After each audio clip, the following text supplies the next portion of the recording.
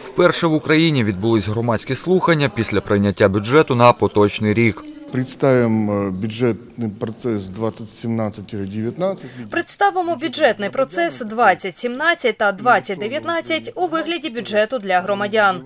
Це такий інноваційний в Україні формат, який на мові саме домогосподарства. А саме головний там парламент це умовна ціна за управлінську послугу, за умовний квадратний метр зелених насаджень за людину день. Тобто те, як ми в побуті розуміємо послуги.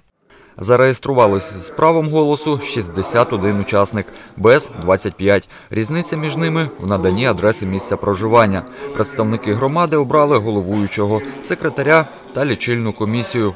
Фактично, е, сьогоднішнє законодавство е, залишає громадянам у межвиборчий період е, не так багато інструментів впливу на тих осіб, кому ми тимчасово довірили право розпоряджатися, в тому числі бюджетом в інтересах виборців.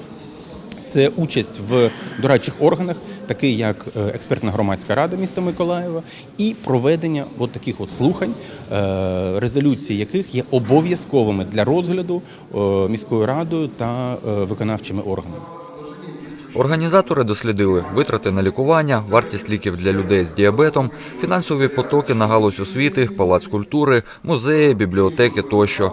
Також підрахували витрати на утримання однієї штатної одиниці в органах управління. Результати аналізу демонстрували наочно на моніторах. Мне стало интересно посмотреть на людей. Мені стало цікаво подивитись на людей, від кого залежить громадська думка в місті, а потім подивитись на оцінку результату і зрозуміти все ж таки, хто все робить, а хто нічого не робить, тому що вже все заходить у глухий кут.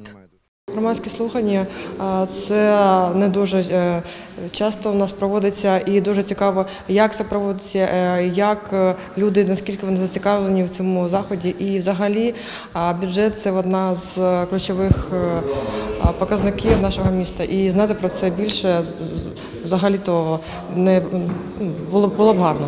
Окрім ознайомлення з запропонованим варіантом громадського бюджету, учасники слухань мали змогу внести свої аргументовані пропозиції до резолюції, яку підписали в кінці заходу, після чого документ передадуть до канцелярії міської ради. Олександр Гордієнко, Ігор Чорний, телевізійні новини Миколаївщини.